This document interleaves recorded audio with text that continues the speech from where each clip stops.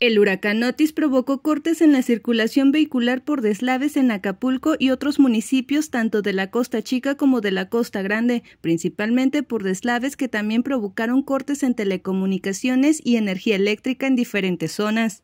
Luego de que el huracán Otis tocara tierra en las costas de Guerrero, en el estado de Michoacán se encuentra en máxima alerta en tres municipios. El peligro está latente en los municipios de Lázaro Cárdenas, Aquila y Coahuayana, dio a conocer Protección Civil del estado. Las autoridades de protección civil advirtieron que el peligro no ha pasado, pues las intensas lluvias pueden generar desbordamiento de ríos y deslaves en carreteras y autopistas.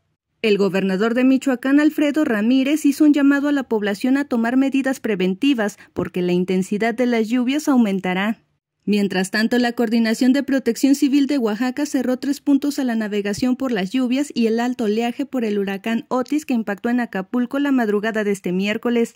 De acuerdo con el meteorólogo de Protección Civil Cuthberto Ruiz, los puertos que se cerraron fueron Puerto Escondido, Huatulco y Puerto Ángel, ubicados en la costa de Oaxaca, en donde se presentaron turbonadas y oleaje elevado. Informó para Noti 13 Eli Pedrosa.